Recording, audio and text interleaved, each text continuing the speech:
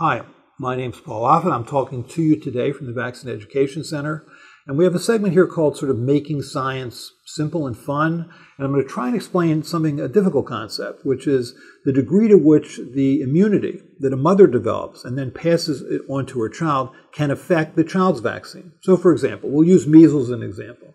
Um, in the old days, before there was a measles vaccine, um, which is to say, before 1963, most everyone in this country was infected with measles at some point in their life, which meant that they had antibodies in their circulation, which meant that mothers had antibodies in their circulation.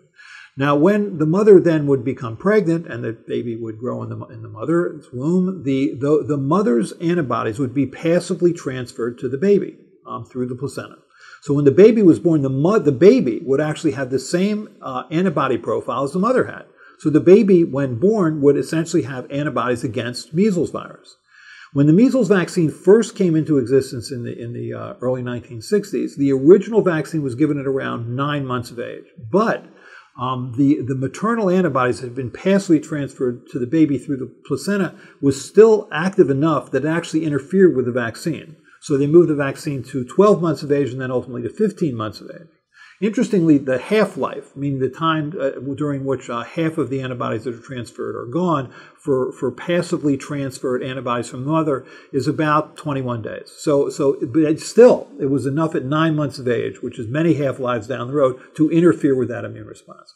Then what happened is we made a vaccine. And when, with the vaccine in 1963, now mothers really weren't naturally infected. They were immunized, which didn't induce as high of an immune response. Um, really, about a third the immune response that was uh, generated by natural infection. Now, that immune response was still good enough to basically eliminate measles from this country by the year 2000, but it wasn't as, as, as, uh, as brisk or high titered as occurs, not surprisingly, after natural infection. So what we find now is that when um, babies are born to mothers who've been immunized and then get through the placenta antibodies uh, that are measles virus specific, it's not quite as high titered. So now we've moved the, the uh, immunization back from 15 to 12 to 15 months of age. And frankly, we can, can no doubt successfully immunize children even earlier than that. Frankly, at nine months of age and during an outbreak, babies can be immunized down to six months of age.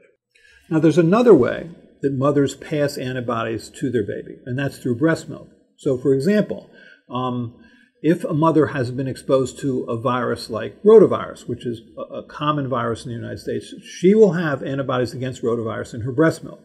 And that then, as she feeds, as she breastfeeds the baby, those antibodies will then bathe the lining of the esophagus and the stomach and the small intestine.